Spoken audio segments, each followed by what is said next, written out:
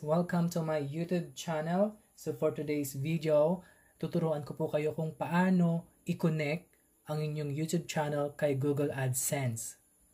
Okay? So una-una, punta po kayo dun sa inyong Google Chrome. Ayan, guys, naka-laptop tayo ngayon hindi, dahil hindi ko po magamit ang aking screen recorder. So, sa taas, punta kayo lamang and search nyo po ay youtube.com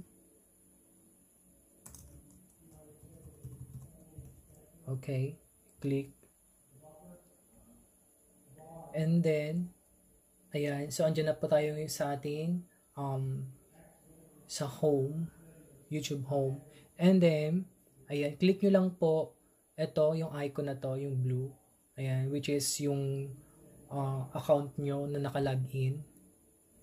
And then guys, pupunta kayo sa inyong um, YouTube studio.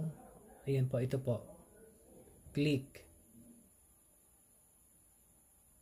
Ayan, kasi before guys, ayan, maraming step. Siguro mga apat na step yung yung kailangan nyo pang gawin para makapunta doon sa Google AdSense or monetization. Okay, so this time, andito po tayo sa ating channel dashboard. Okay? I-scroll down lang natin or scroll up. Ayan. Ayan po siya. Okay, and then punta tayo dito sa ayan sa gilid dito. And hanapin nyo lang po yung monetization which is ito po siya. Ayan, yung may S, yung dollars na yan. Click nyo po. Okay? And channel monetization. Ayan, dito na po tayo. Ayan, dyan nyo po makikita ano po ang requirements kay YouTube monetization. Ayan, so um, ngayon, nakita nyo po itong notify me when I'm eligible. Ang gagawin nyo po, i-click nyo po yan. Okay? Ayan, click. So, ayan na po. We'll send you an email when you're eligible to apply.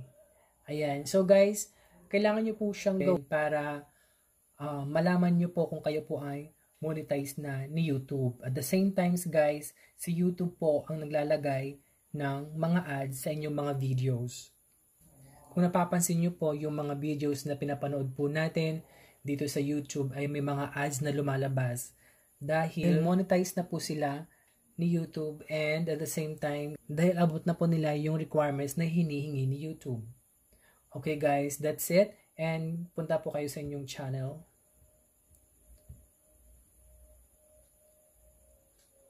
So okay na po siya. So guys, ito palang account na gamit ko ngayon is ginawa ko to para para sa ating tutorial.